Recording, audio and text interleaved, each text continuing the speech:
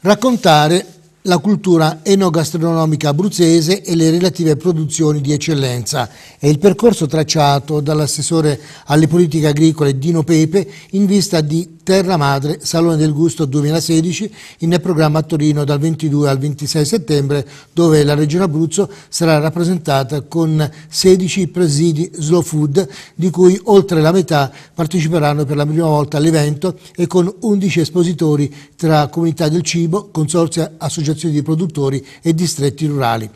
un gruppo così nutrito di produttori e di prodotti della più autentica tradizione enogastronomica della nostra regione non è stato mai presente a Torino in nessuna delle dieci precedenti edizioni, ha esordito l'assessore alle politiche agricole Dino Pepe. La partecipazione della Regione Abruzzo è particolarmente significativa e rappresenta per il nostro territorio un ulteriore passo avanti nel percorso volto a valorizzare la biodiversità e le piccole produzioni locali, ha osservato ancora Pepe, oltre che un momento fondamentale nella promozione delle eccellenze agroalimentari abruzzesi in un contesto internazionale come quello del Salone del Gusto. Parteciperà per la prima volta anche un distretto rurale Terre Vestine delle saline del Gran Sasso che metterà in mostra le peculiarità rurali del territorio vestino. Lo stand abruzzese ospiterà inoltre il consorzio del pecorino amatriciano dei Monti della Laga in segno di solidarietà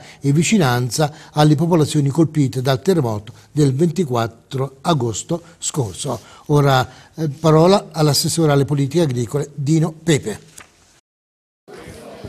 Assessore Dino Pepe, l'Abruzzo protagonista nell'edizione 2016 del Salone del Gusto di Torino. L'Abruzzo sarà assolutamente protagonista quest'anno al Salone del, del, Gusto dal 22 al 26 prossimo. Quest'anno il Salone del Gusto si svolgerà all'interno del centro storico di Torino e l'Abruzzo sarà presente con 16 presidi e 11 comunità del cibo.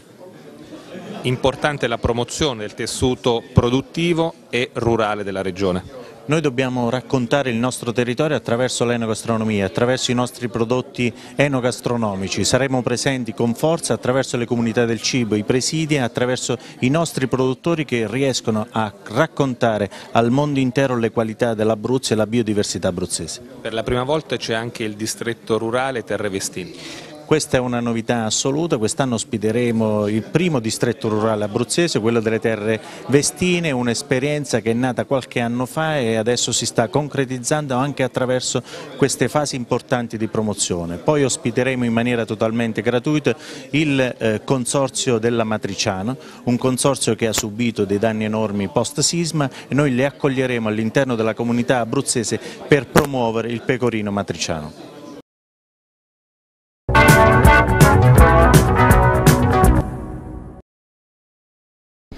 Un'altra iniziativa del GAL Terre Aquilane, del quale presidente Rocco Giancarlo Di Micco. Questa volta si parla un, della presentazione di un libro, il libro di Pasquale Ferrara.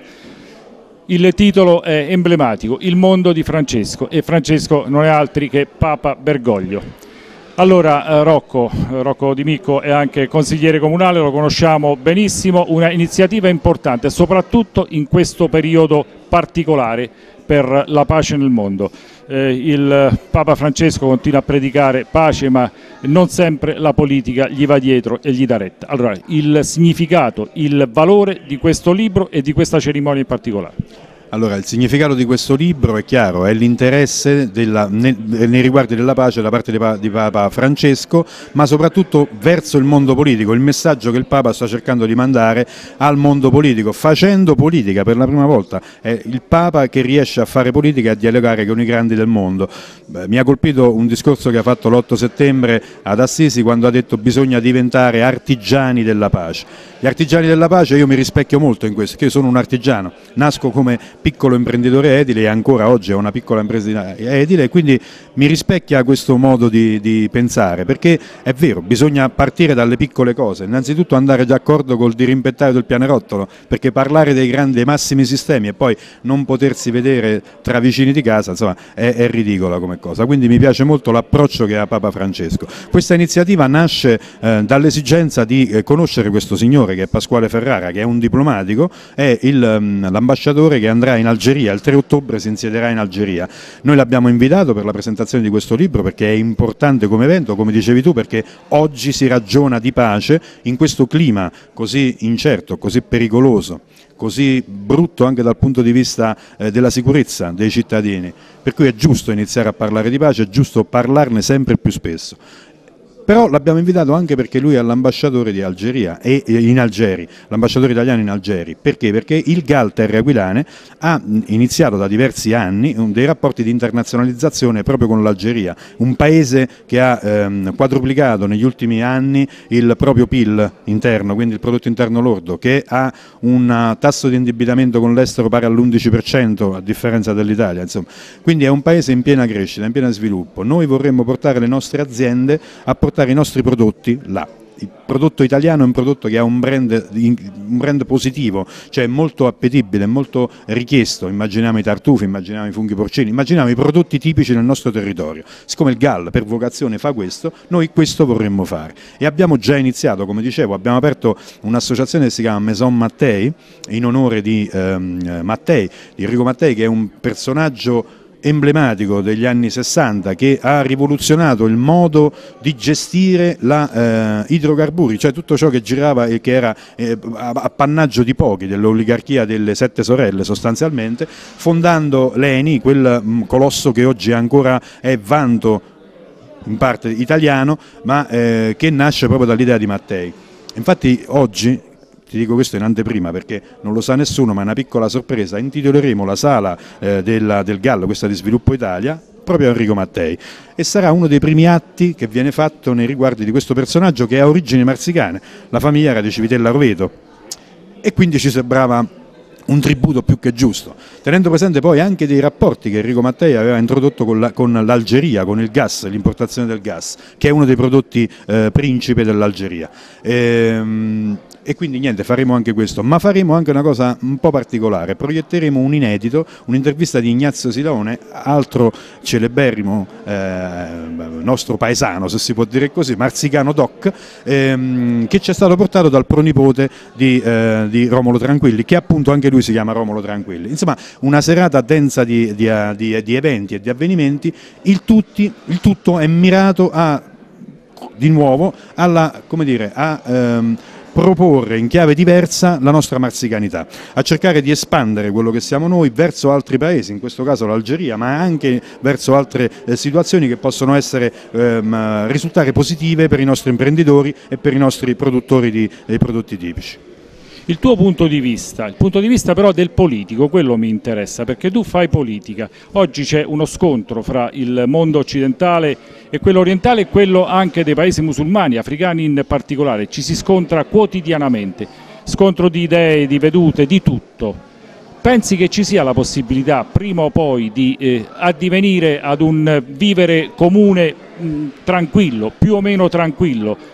che possa finire un giorno questa lotta fratricida e che possano finire questi attentati e tutto quello che di negativo c'è. Guardi, al di là del fatto dell'opinione politica da essere umano io mi auspico e spero ferventemente che questa sia una cosa che sia dire, auspicabile per tutti, per i nostri figli, per i nostri nipoti, perché il mondo, no? il mondo è, è, è, di tutti, cioè in realtà dovremmo iniziare a ragionare come eh, abitanti di questa palla di fango che è la Terra e non, eh, non siamo passati dal campanilismo al nazionalismo, siamo passati attraverso varie fasi che ci hanno caratterizzato, che hanno portato guerre, che hanno portato carestie, che hanno portato varie fasi in cui l'umanità ha toccato il fondo. Noi immagino che dovremmo, come dice il Papa, oggi cercare di fare un ragionamento di fratellanza, indipendentemente dalla religione, indipendentemente dal credo, che è una cosa intima e personale, ma che non dovrebbe condizionare la vita sociale di nessuno, né tantomeno la vita politica e economica di vari paesi.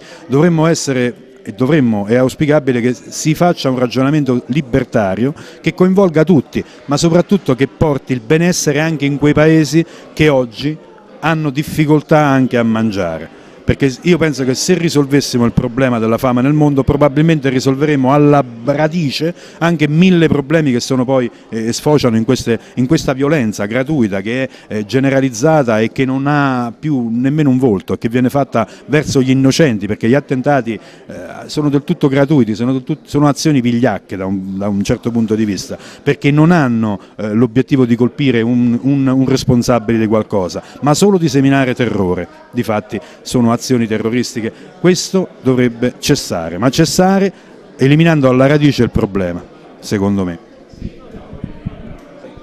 Ed ecco l'ospite d'onore di questa serata, è Pasquale Ferrara, autore del libro che viene presentato questa sera, ma soprattutto eh, ambasciatore dell'Italia in Algeria. Quindi un breve eh, riassunto del libro, ma io vorrei che lei ponesse l'accento su quello che va a fare in Algeria, perché oggi è un momento particolare eh, nella politica mondiale, c'è questo scontro fra Islam e cattolicesimo e non soltanto. Allora, due parole su questo libro, due parole nei limiti del possibile. Beh, eh, sostanzialmente le due realtà sono un po' collegate, cioè perché l'idea eh, di questo libro nasce dalla, da una constatazione, cioè abbiamo un Papa che si muove nella direzione del dialogo, nella direzione dell'apertura e va lui a cercare chi sta eh, nelle periferie, va lui a eh, diciamo, tentare di riannodare dei legami che sembrano eh, compromessi. E oggi ovviamente il grande tema è il rapporto con il mondo arabo-islamico. Il Papa diciamo, da questo punto di vista ha fatto delle aperture molto chiare, molto precise, ma anche molto realistiche, cioè non è un utopista, è una persona che crede che con i piccoli gesti, con la collaborazione eh, in tanti eh, settori si può creare una condizione di eh, collaborazione nella direzione della pace. L'Algeria è un paese eh, strategico non solo per l'Italia ma eh, per, per, il Mediterraneo, per la stabilità, la sicurezza nel Mediterraneo. Eh, però io credo che non possiamo limitare la, la, considerazione di questo paese solamente a questi ambiti. Eh, esiste una comune cultura mediterranea che condividiamo e che eh, dovremmo riscoprire in un modo più eh, creativo. Non esiste diciamo, una sponda nord e una sponda sud, esiste un essere mediterranei insieme, eh, esiste una cultura che chiamerei meridiana che ci spinge verso il dialogo e che ci spinge a guardare al futuro. Quindi ci sono stati problemi, ci sono problemi oggi, ma io credo che dovremmo lavorare eh, verso il futuro anche con un paese che è eh, fatto in gran parte di giovani. Ricordiamo che il 30, eh, il, più del 70% diciamo, della popolazione algerina ha meno di 30 anni eh, e questo diciamo, è una sfida ma è anche un'opportunità. Con che spirito va in Algeria, considerati i tempi? I tempi innanzitutto un senso di grande mh, responsabilità e, e soprattutto essere consapevole di rappresentare un paese come l'Italia con una storia millenaria e di rappresentare un paese intero, quindi certamente il governo, eh, ma anche eh, diciamo, tutte le forze sociali, le forze vive, le forze della cultura del nostro paese. E io cercherò semplicemente di essere un ponte, di mettere in dialogo eh, le realtà algerine del mondo sociale, del mondo culturale, con quelle italiane, perché eh, io credo che la cultura è lo sfondo eh, imprescindibile su cui poi possiamo costruire una nuova storia anche in termini di sicurezza, anche in termini di sviluppo economico. Eh, quindi la cultura è un punto di riferimento fondamentale e sarà uno dei capisaldi della mia missione.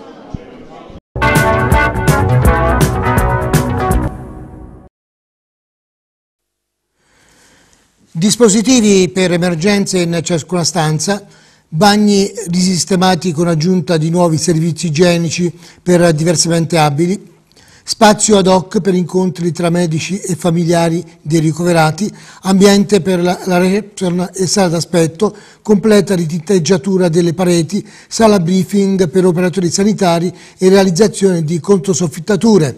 Questo in sintesi il restyling della chirurgia generale dell'ospedale di Avezzano che con questo nuovo assetto si appresta a migliorare la già elevata quota di mobilità attiva 25% che vantata verso regioni vicine come Lazio e Campania. Questa mattina c'è stata la cerimonia di inaugurazione dei locali ristrutturati alla presenza tra gli altri del manager dell'ASL Rinaldo Tolodera, del sindaco di Avezzano Giovanni Di Pangrazio, del direttore sanitario di presidio Laura Cipollone, del direttore del dipartimento chirurgico dottor Giovanni De Blasis e naturalmente del primario del reparto il dottor Di Stefano, oltre a numerosi medici. I lavori di ristrutturazione iniziati a metà luglio hanno dato una svolta al reparto situato al quarto piano, migliorandolo nettamente come qualità ricettiva, rendendolo più fruibile agli utenti con una più adeguata organizzazione logistica. La ristrutturazione è costata circa 120.000 euro ed è terminata il 23 settembre scorso. L'attività chirurgica, spostata temporaneamente al quinto piano durante l'esecuzione dei lavori, riprenderà a giorni il suo posto al quarto piano con la piena disponibilità dei 20 posti letto assegnati. Tra le migliorie da segnalare quella dei servizi igienici ristrutturati nell'esistente e con nuovi spazi per i diversamente abili dotati di nuovi arredi. Altro fatto nuovo, la installazione di impianti di apparecchiature situati in ciascuna stanza di degenza da utilizzare in caso di emergenza. Con la modifica degli spazi interni si è proceduto all'allestimento, oltre che della reception, di una sala d'aspetto e all'introduzione di un apposito ambiente in cui far incontrare i familiari dei degenti e personale medico. Nel novero delle novità c'è anche una sala briefing riservata appositamente ai medici da utilizzare per la migliore pianificazione del lavoro. Gli stessi lavori eseguiti, ha detto il manager della ASL Tordera, servono a migliorare in modo netto la qualità alberghiera a beneficio delle persone ricoverate e da introdurre condizioni di lavoro più favorevoli per il personale. Soddisfatto anche il sindaco di Pangrazio. Gli interventi effettuati sui locali, ha affermato, sono importanti perché oltre alle migliorie strutturali alzano lo standard di igiene e di sicurezza dell'attività chirurgica. La caposala Antonella Buffone ha avuto modo di rappresentare l'impegno di tutti nell'assistenza, medici, infermieri ed operatori sanitari, specificando che oggi con il reparto interamente ristrutturato si raggiungono due grandi obiettivi servizi ed ambiente dignitoso a tutela del benessere per l'utenza, realizzazione di spazi necessari all'attuazione di pratiche assistenziali standard e specifiche del settore chirurgico corrispondenti a quelle dimostrate efficaci ed efficienti. Ora spazio alle interviste. Direttore, guardando in prospettiva, in che contesto si inserisce questa ristrutturazione? in un contesto di miglioramento e di, di, della qualità alberghiera ma anche della possibilità per loro di lavorare meglio in ambienti più, più moderni anche se sono gli stessi ancora nel vecchio ospedale con una razionalizzazione degli spazi migliori indubbiamente adesso il dottor Di Stefano mi faceva vedere alcune accortezze che sono tipicamente operative, legate alla professione, alla al rispetto della sensibilità dei pazienti, quindi le cose che contano sono queste. Si può sempre fare meglio, ma credo che questo era il massimo che potessimo fare. L'aspetto alberghiero è importantissimo, qui grosso modo è stato sistemato, ci sono altri reparti che lo aspettano. In prospettiva si può pensare all'effettiva realizzazione del nuovo ospedale? Sì, sì, assolutamente sì, infatti eh, dobbiamo fare in modo che eh, nel più breve tempo possibile si realizzino le procedure amministrative, il, il, contratto di programma, voi lo sapete che la Regione ci sta già lavorando e quindi noi eh, daremo il massimo della nostra disponibilità e collaborazione per fare in modo che le cose si risolvano rapidamente. Certo qualche anno passerà perché fare un nuovo ospedale è una cosa complessa però nel frattempo abbiamo messo a posto la chirurgia che è uno degli elementi di traino di un ospedale perché la chirurgia quando ci sono i bravi chirurghi e ad Avezzano ci sono fa mobilità attiva, attrae pazienti anche dall'esterno e quindi aiuta la nostra azienda ad affrontare meglio questi cambiamenti che sono in corso. Bene per quanto riguarda questo aspetto, però non posso non farle qualche domanda su recenti avvenimenti, cioè mi riferisco a ha avuto modo di esprimere il suo parere sull'assenteismo, sulla neurochirurgia, ci può dire qualche cosa? Vabbè, sono questioni sulle quali è evidente che un manager di una ASL di, di, di questi tempi non può fare a meno di fare. La rimozione delle sacche di inefficienza ritengo che sia un dovere. Questo non vuol dire colpevolizzare nessuno, però vuol dire che noi, e me, io in particolare, eh, devo assolutamente cercare di capire dove si possono recuperare risorse. Questo è il tema dominante. E, e lì e noi ci, vogliamo, ci voglio vedere chiaro, voglio essere sicuro che tutti cerchino di lavorare il più possibile per essere più efficienti e più efficaci. Sono parole che si dicono sempre, però non dimentichiamo che la sanità abruzzese è uscita dal commissariamento, quindi dal primo di, di, ottobre navigheremo soltanto con le nostre forze e quindi è un dovere della direzione aziendale fare in modo che la produttività delle persone sia la massima possibile. Dottor Rizzevola, mi sembra che siete pronti anche per eh, delle esperienze nuove nel vostro reparto. Sì, dunque, intanto io devo ringraziare il direttore generale e il sindaco perché li ho tormentati per anni per ottenere questo e questo era il massimo che si poteva ottenere con i soldi che l'azienda ha e quindi io li ringrazio ma non è che li ringrazio, li ringraziano i pazienti perché la situazione era disastrosa, noi abbiamo una concorrenza con il privato, vedi Villa Letizia, che ha un albergo a 5 stelle, quindi questo è fondamentale, ma poi è fondamentale quello che dobbiamo fare pure noi, nel senso che adesso partiremo con una tecnica innovativa assolutamente che è la tecnica della fluorescenza, noi facciamo i tumori in laparoscopia, i tumori del colon in laparoscopia, dello stomaco, questi qua con la fluorescenza eh, permetteranno di vedere alcune cose che non si potevano vedere prima, cioè soprattutto la vascolarizzazione, l'uretere, le vie biliari eh, e sono una tecnica veramente all'avanguardia che sta soltanto in 4-5 ospedali in Italia. Quindi mh, il 17 di febbraio faremo un congresso con il Presidente della Società Italiana di Chirurgia faremo gli interventi in diretta per mostrare quello che facciamo qui in ospedale, perché noi abbiamo il 25% di mobilità attiva, che è tantissimo, il direttore lo sa, è qui, e quindi vogliamo anche comunicare ai marzicani le innovazioni che si fanno qui, le cose che sono cambiate. Ecco. Sindaco, il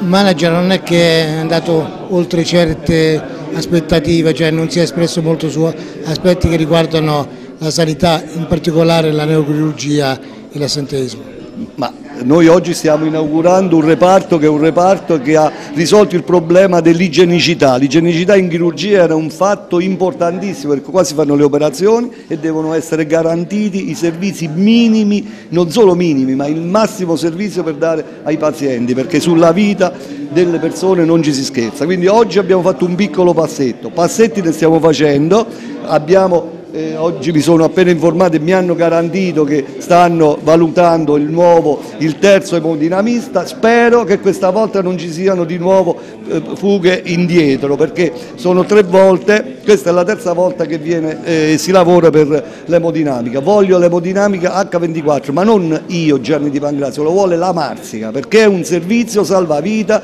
e non faremo sconti. Quindi mi rivolgo a chi ha la responsabilità di chiudere questa partita e mettere il terzo emodinamista fisso H24, il servizio con operatori che siano tranquilli e non facciano poi servizi o lavori talmente pesanti, che talmente tante ore che poi dopo toccare il cuore non è semplice. Per quanto riguarda invece una cosa importante è quella del nuovo ospedale.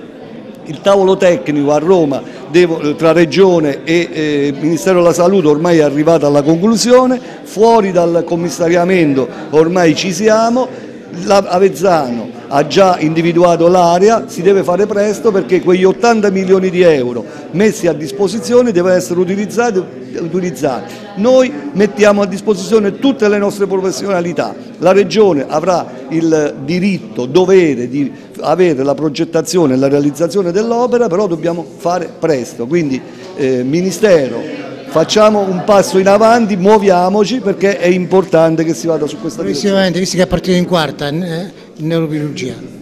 Neurochirurgia, noi vogliamo che ci sia l'apertura eh, del reparto perché copra H24, quindi che ci sia un medico presente qui per assicurare non solo l'accoglienza la, del, dell'emergenza ma per dare spazio a tutti gli altri servizi che sono collegati con neurochirurgia e abbiamo l'eccellenza a livello regionale. Faccio i nomi del dottor Passalacqua e del dottor Carolei che hanno bisogno comunque dell'apertura di un medico presente H24, questo è quello che chiediamo. Poi se la direzione deve rimanere all'Aquila ben venga, ma il servizio deve essere coperto H24 qua da Vezzano.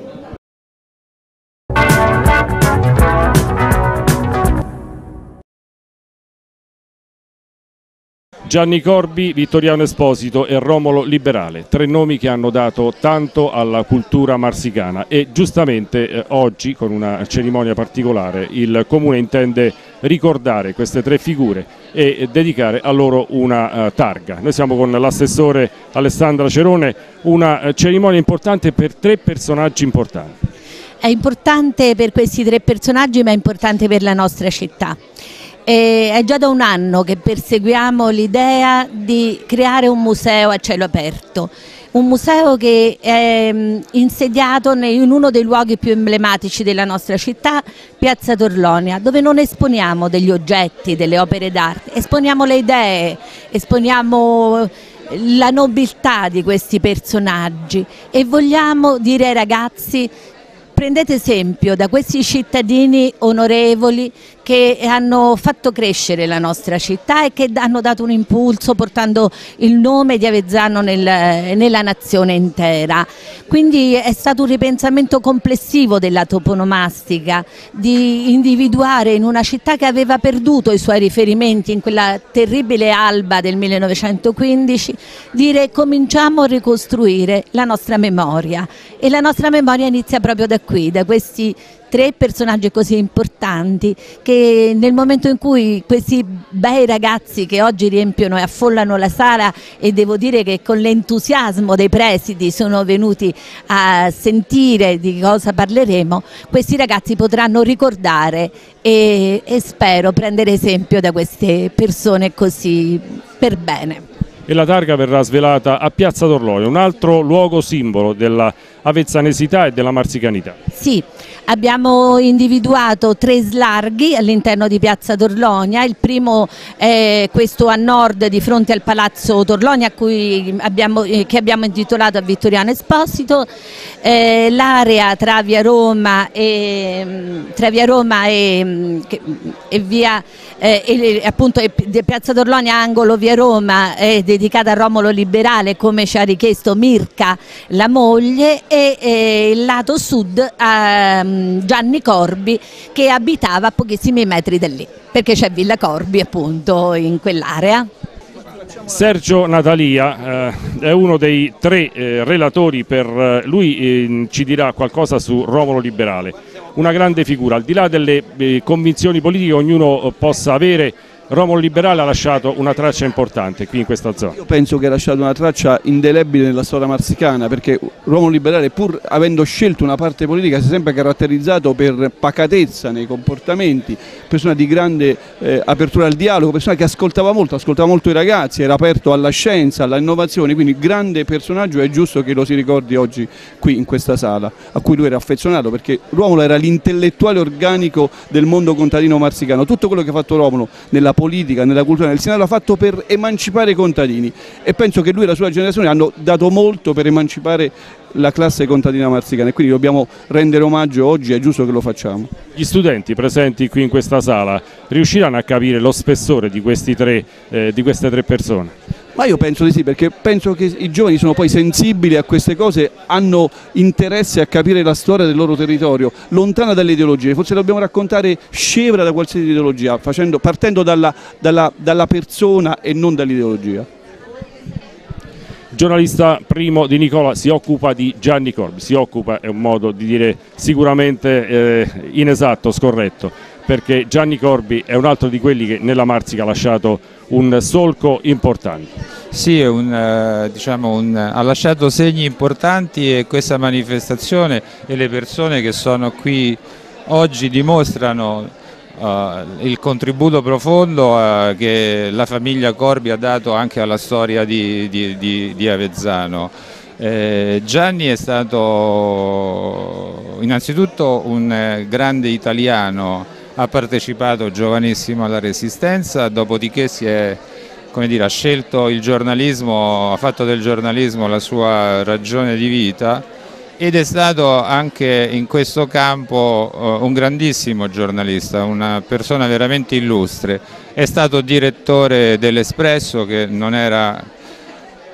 a, quei tempi un giornale normale, era credo senza esagerare un del, è stato un tempio del giornalismo, ha fatto la storia d'Italia. E la cosa particolare assolutamente eh, importante io credo in un periodo in cui si perdono riferimenti ai valori è che Gianni nonostante queste sue attività, questo girare continuo il mondo in un universo diciamo, politico e sociale del tutto diverso, con l'Abruzzo e con Avezzano ha sempre conservato un legame profondo, ha coltivato queste sue radici e credo che questa manifestazione gli renda appunto un giusto omaggio. Concludiamo col professor Massimiliano Capodacqua per parlare un attimo di Vittoriano Esposito, altro eh, colosso della letteratura marsicana, cioè un colosso marsicano della letteratura, ma non soltanto letteratura marsicana. Allora, chi era e che cosa ha lasciato Vittoriano Esposito? Ma Vittoriano Esposito era innanzitutto un grande, è stato un grande insegnante, amatissimo da tutti i suoi studenti che sono stati generazioni e poi ha trovato un modo di esercitare una, una critica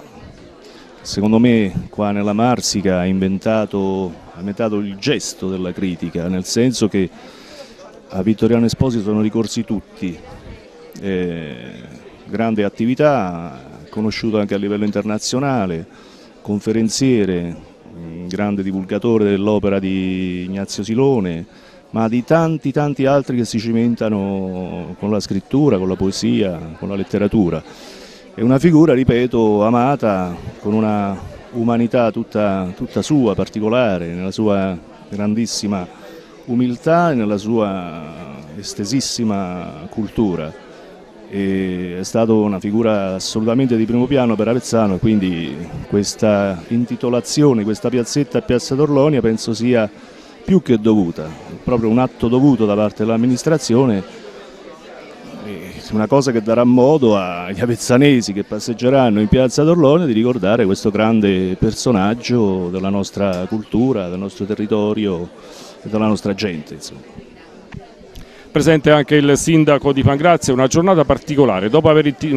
intitolato un busto a Camillo Corradini in piazza Risorgimento, questa volta altri tre importanti personaggi qui in piazza d'Orlonia